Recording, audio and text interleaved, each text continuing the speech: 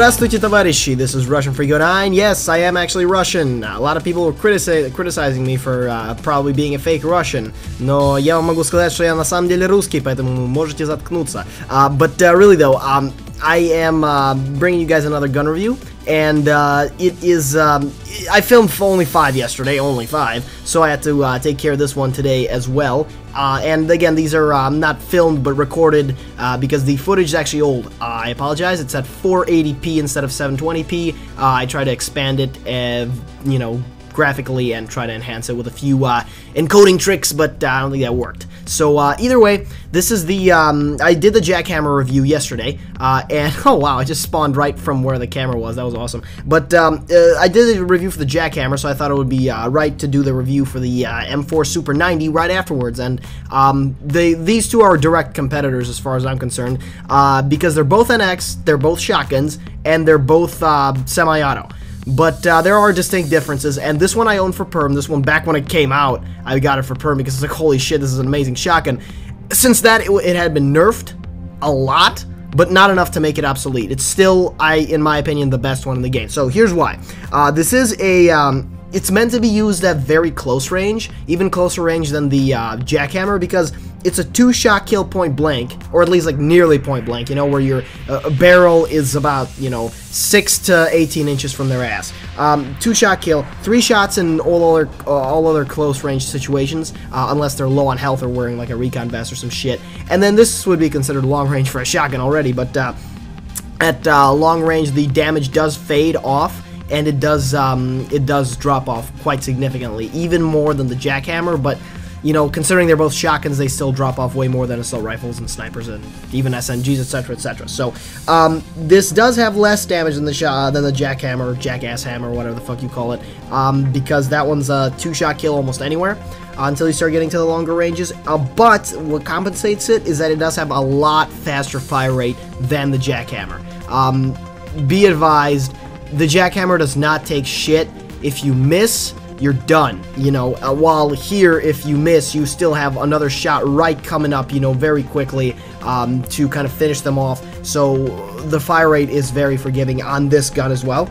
Um, and what else is very forgiving is that the fact that it has larger spread.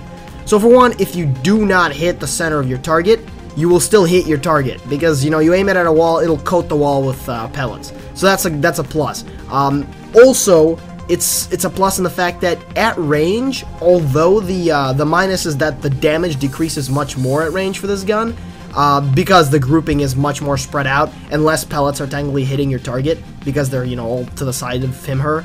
Uh, but it still gives you, if you're aiming up for the upper body at range, it gives you a much greater chance of scoring a headshot because the pellets are going to be more all over the place. So the odds that a couple of them might hit the head much higher than with tighter groupings. So that I actually really love because it is a very forgiving shotgun. So if you're like me and you suck with shotguns and you're not a very good shot on things that are just kind of individual shots, you know, uh, I would suggest this over the jackhammer. If you're a sharpshooter that just goes, you know, balls deep in the family cat and is just like, you know, scoping people out like instant reflexes, like your muscles are trained to, you know, ninja style fucking you know, cut people's throats without anything but your hands. Uh, if that's you, then the jackhammer's probably your gun, but be prepared to have to, you know, live with a potato cannon in your hands um, that, that takes up half your screen. That's another positive about this gun, is that it is so small you can actually see the right side of your screen. And you know, that's that's always helpful. By the way, the private in this game is hella good. This is definitely not his first account, just saying. Uh, it's and that and I suck. But uh, don't worry, I know how this game is going to turn out and trust me, it is better than me being in last place. So, um, either way, the uh, this this shotgun is a it's a pretty chill gun. Really, you can see range headshots. It really really likes its headshots. This is if I were to label any shotgun a headshot machine, this would probably be it. Um, and that is definitely a good thing uh, for shotguns, considering you do need to uh, put up with, you see that shit? Again, um, you need to be able to put up with uh, people, you know, using the SMGs on you. This is a shotgun-only uh, game, so that's a little more forgiving. Otherwise, I'd get wrecked. Haven't used this thing for a while. But um, either way, the um, reload for the shotgun is another thing that I really love. Unlike the jackhammer that uses an ammo cassette, which is essentially a box mag put into like a drum box mag, put into its ass um, that, you know, it takes forever to reload and you cannot shoot the jackhammer while reloading it. This one, you feed each shell individually in, so the overall reload time from zero shells to, I believe the max here is seven, might be longer than if it had been a box mag, but you are still able to shoot. look at the bitch trying to ambush me. That's what you get. Sit the fuck down. Oh, but yeah, um, the the you can fire the shotgun while reloading it. So, you know, you, you, you put in three shells and you see a guy, holy shit, bam, he's done. Oh, yeah, cool, I'll just keep reloading here, don't mind me. You know, that kind of shit. So, I love that. I reload instinctively. You see that after every kill, as soon as I see that, you know, 14 kills pop up on my screen, insta reload, you know, and that some, that hurts me more often than it helps me. That bitch is just like, I'm done with you. I am not even gonna begin to begin. But uh, that's okay. I will find her, and I will destroy her genitals. Anyway, uh, so it is also very portable. Um, I noticed that it's a lot more portable than the jackhammer, at least it feels that way. Um, and no, I don't look at the stats of these guns before reviewing them. A lot of reviewers are like, oh yeah, it has uh, 35 damage and it has 67 portability. And, uh, you know Nexon lies about, I mean, I'm not taking a shit on other gun reviewers by no means, but you know Nexon lies about their gun, gun stats. Like, my fucking REC7 supposedly has a better fire rate than an M416 CQ. No!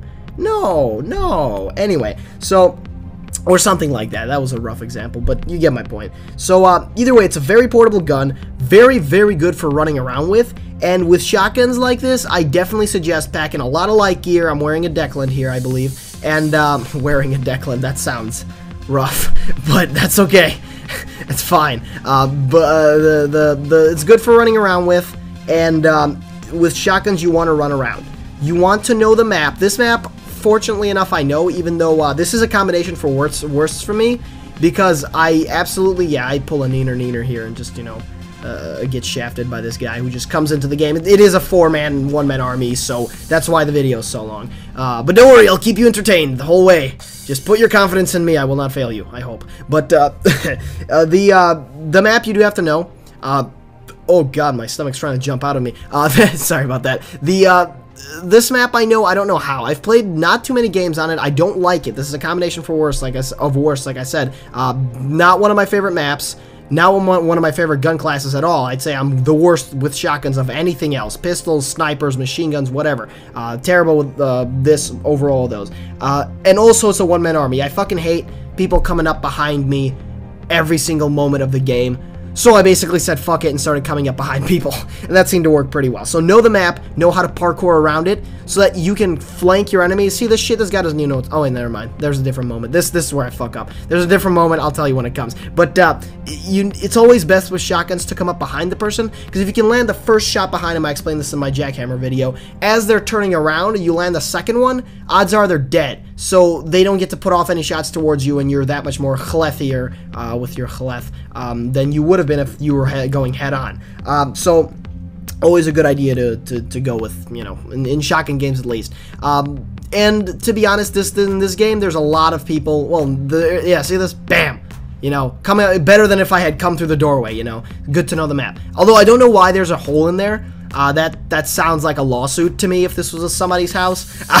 but because I'm an architecture student and you're supposed to put railings around that shit. Just saying. Uh, I think it's a minimum of uh, 36 inches high too. The railings. Uh, I'm I'm actually not sure about the building code wherever the fuck this map's supposed to be set. But either way, I'm not gonna bore you with science uh, because science is boring.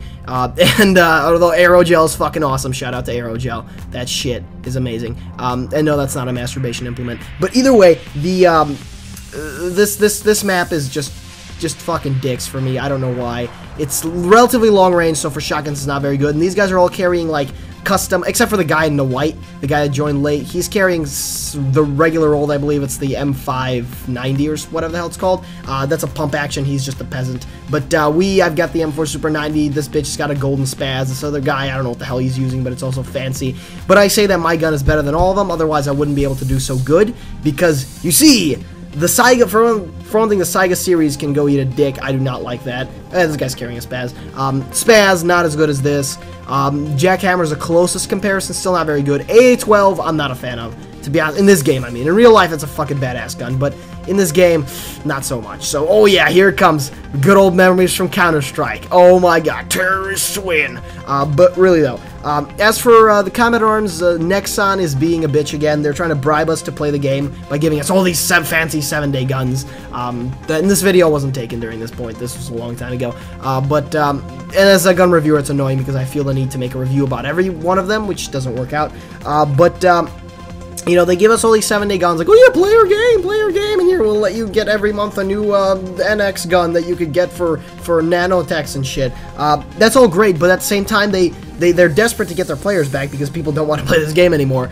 Then they refuse to quit making overpowered guns like fucking fucking. Uh, dual scorpions and bearpies and shit. Uh, at the same time, they're nerfing old ones, so getting perms isn't even a good idea anymore. And it's like it's like I don't know. It's like a broken, bankrupt middle class family. You know, it's like, uh, oh, you know, the kids are starving, but Fluffy only eats organic. You know, you guys gotta give. Like, really. Uh, that's just my rant to Combat Arms. Maybe somebody, one of the devs, will watch it and be like, you know, this kid actually makes some sense and stop making fucking ridiculous guns that uh, recon vests ruin this game just as much as specs and dual scorpions did. Take it from a recon vest owner. When everything becomes so fucking fast you can't hit shit and you have to have like more than lightning reflexes, it's it gets hard to play the game recreationally. You have to be on like every day practicing your fucking Combat Arms skills. It's kind of bullshit. But either way, um, I really do support. I think there was a movement on the forums a long ass time ago that I think ended up failing, although it was a good one um, for uh, classic game mode, like a game mode where you have like weapons and gear and maps back from 2009 like you've got your MP5s, you've got your UMPs, your regular AKs, M4s, etc., etc. And the, the, more the most advanced you get is probably the shotgun or some shit like that. Um, and there's no recon vests, there's no tanker vests, there's no specs, there's none of that horse shit. Uh, and you just run around with classic gear. I would play that literally on a daily basis without stopping. That would be an amazing game mode. But uh, Little did we know, Nexon has to make money somehow, and that's you don't make money by keeping the old guns good and the new guns bad, because nobody's gonna buy the new guns. Either way, I hope you enjoyed this video. I hope you enjoyed the rant. If you didn't enjoy the rant, then go ahead and hate on me. I my body is ready. Um, and this guy gets shafted from behind. Bye bye. Um, and I hope you found it helpful. Really, I hope uh, you now know what shotgun is for you. If it's not this one, hopefully at least it. Uh, it helped you decide. Uh, so uh, thank you very much for watching. Uh, likes uh, Tunafish Productions on Facebook. Follow Russian Freak 09 on Twitter. Subscribe, like, you know what to do. Uh, and thank you very much for watching. More content coming soon.